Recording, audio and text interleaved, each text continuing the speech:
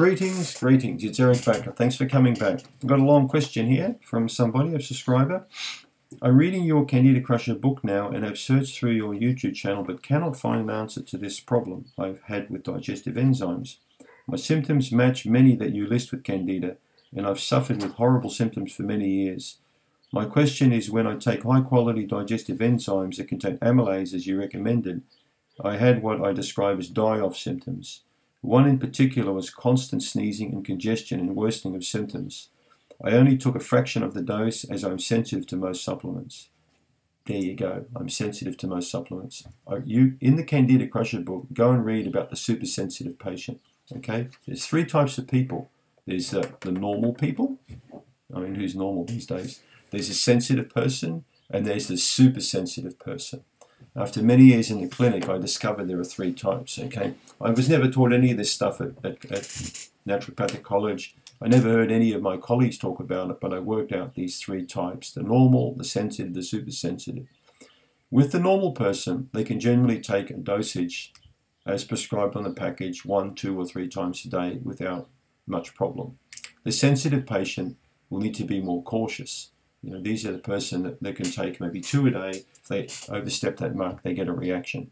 The super sensitive patient can range, you know, in that category can range from mildly super sensitive up to the point where they can't live around people anymore because colognes and perfumes and, you know, power or, or electrical cables and walls affect them and mobile phones affect them and uh, these are difficult people to work with. I generally can't do much for the extreme sensitive patient.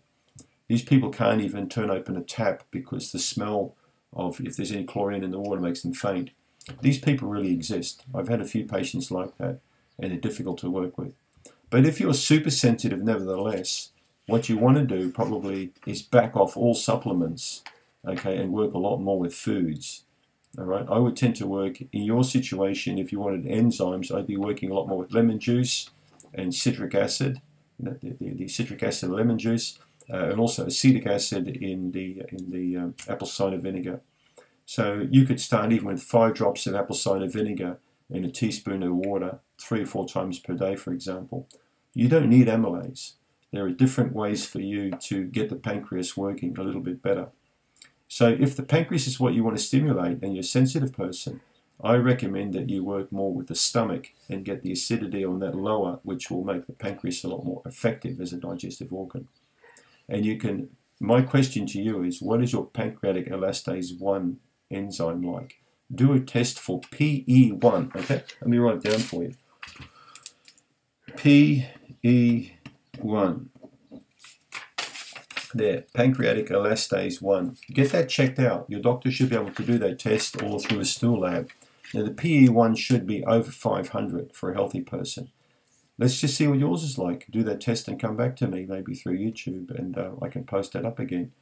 So get the PE1 checked, maybe do a comprehensive stool analysis to see if there's any bacteria or fungi or parasites, or there could be other digestive parameters not working properly for you. We need to know these things. Don't walk into a room, a dark room, without a torch trying to find something, all right? You're going to bump into the walls and probably break the blooming window. Get a torch, or get your iPhone these days with the little flashlight button on it, all right? And then walk and then click it on. Hello, I can see everything in the room. Oh, that's where it is. That's where the elephant in the room is. It's in the corner. All right. So, how are you going to find the elephant in your room? Is you can do a stool test. I would probably go dig a bit deeper into this case um, if I were you and find out why you have these extreme reactions. There could be something in the stool.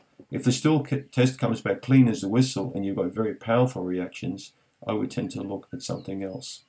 I'll look at limbic system retraining. I'll talk about that in another video. Uh, that might really hold the key. The, I think the second part to your question I've just noticed here is, do you know if this is something you've come across before, and if so, how to proceed without major issues?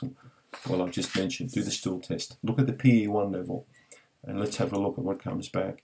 If everything's coming back okay, we need to look at working on a different level. Thanks for the question. I appreciate it. And don't forget to subscribe, but I think you're already a subscriber. Thank you.